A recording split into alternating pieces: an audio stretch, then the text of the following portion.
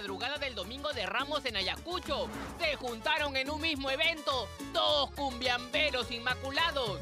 Pamela Franco y Cristian Domínguez. Quiero invitarlos este sábado 23 de marzo en el Complejo Ingenieros en la bella ciudad de Ayacucho. Queremos confirmar nuestra presencia este 23 de marzo en la hermosa ciudad de Ayacucho para bailar y gozar con todos nuestros éxitos de la Orquesta Internacional completita. Hoy día voy a celebrar por los fieles, por Pamela y Cristian, que ustedes lo rompen.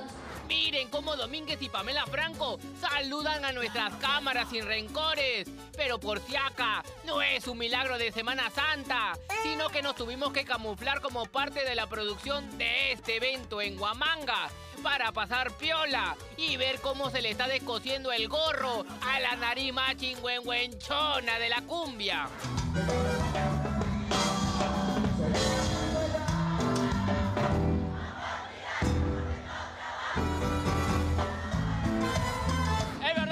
Pareja es igual de piel que Cristian Domínguez? Uy, igualito. ¿Y tú eres Pamela Franco? No, no, no. ¿Qué le vas a decir a Cristian cuando lo veas en el escenario? Quiero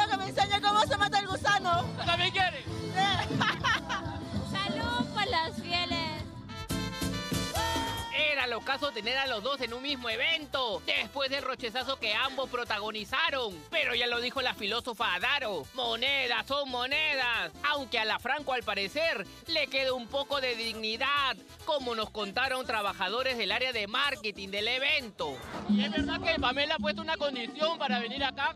Estar separados. Sí, no se quería juntar. ¿Y están en el mismo hotel? No, no, no estuvieron en el mismo hotel. ¿Mismo camerino tampoco? Tampoco, tampoco. No se han podido ver, la intención fue juntarlos. ¡Ah, su qué fea fruna! Tener que cruzarse con el hombre que te echó en cancha y te dejó mal parada a nivel nacional. Eso está más feo que escuchar a Domínguez soltar sus gallos con canciones de amor. ¡Guácala!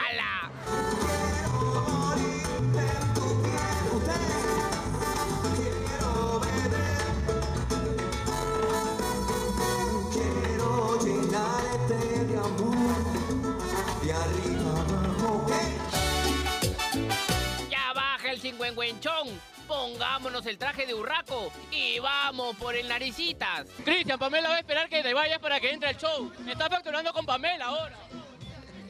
¿No te molesta? ¿Crees que te haya perdonado que le hayas delatado con el esposo de Cueva? ¿Han venido hasta acá por las puras, chicos? Cristian, ¿qué gustado te vas a llevar hoy día? Muchacho malo. Nuestra presencia no fue del agrado de Domínguez, mandando a su chaleco a organizar nuestra salida del local. Pero ya nos habíamos ocultado. Más bien el camarógrafo pasó piola y con recelo tuvo la llegada de Pamelita.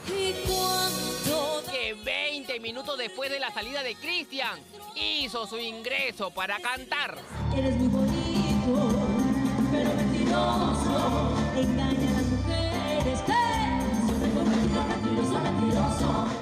Que rica music, pa' los pinochazos. Y es que Pamela luego del escándalo es soltera.com.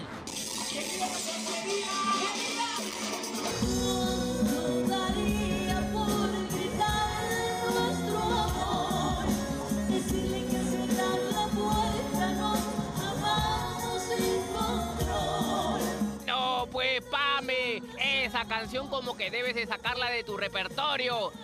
Por cierto, ahora la cumbiambera ha subido su bolo. Según el empresario que la jaló, ella al tener una orquesta estaría cobrando 30 mil lucasas y Domínguez 35 mil soles por dos horas en tarima. Ahora sí, saquémonos la michi con la amplia seguridad que le pusieron a la mega estrella de la cumbia, Pamela Franco. Ha pedido que no te cruces con Cristian Domínguez, Pamela.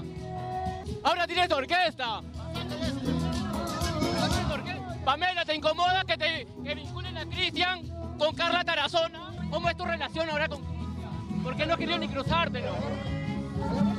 Ahora tienes tu orquesta. Estás cobrando bien ahora. ¿Es verdad que estás cobrando 30 mil ahora? Pamela, ¿Es verdad que estás cobrándole 30 Ha mil? mejorado. Ha costado convencer a este par de fieles de la cumbia para que se presenten en el mismo escenario, que no reventó la firme, pero que fue testigo de que con la plata bailan los chingüengüenchones. No, de que están facturando, están facturando, le está sacando provecho, le está sacando lustre a los cachos.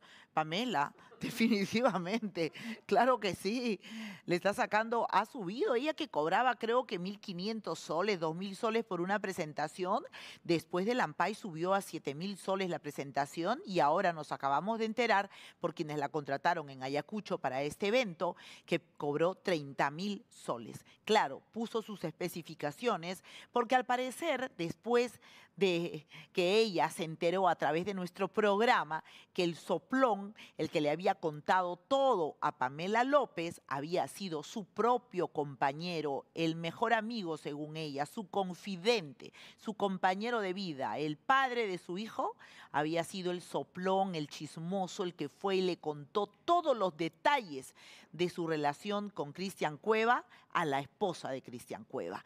Yo creo que a partir de eso hay un antes y después en su relación y parece que no se pueden ni siquiera ver ni cruzar. Porque si es el padre de tu hijo y si tienes una buena relación, por lo menos se saludan, se dan la posta en el escenario, ¿no? Baja una orquesta, inmediatamente dicen ahora se quedan con la orquesta de Pamela Franco, pero no. Nada, ella dice que no quiso, incluso hizo un break de tiempo, un, momento como unos 20 minutos después de que se había ido la orquesta de Domínguez para ella recién salir y dirigirse al escenario.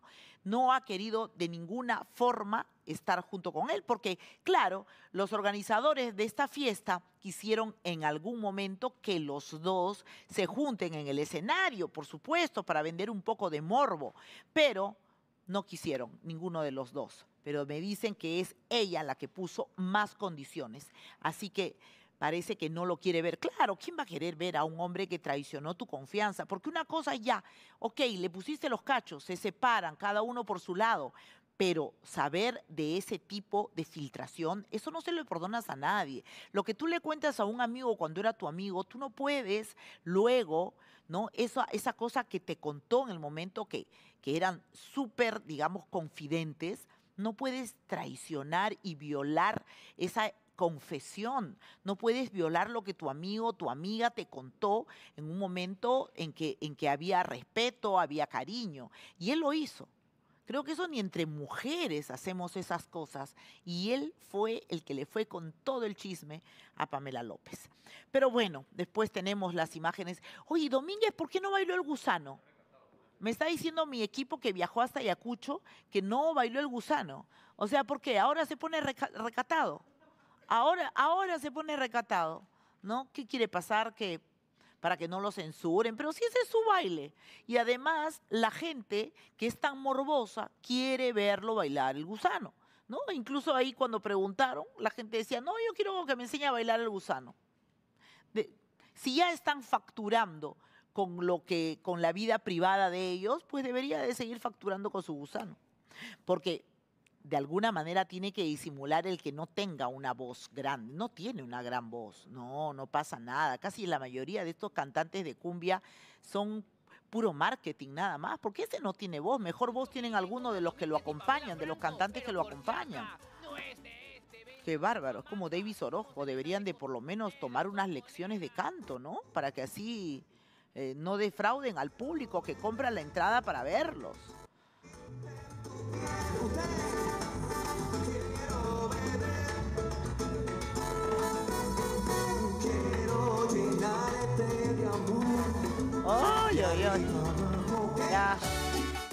En fin, dice, cría fama y échate a la cama.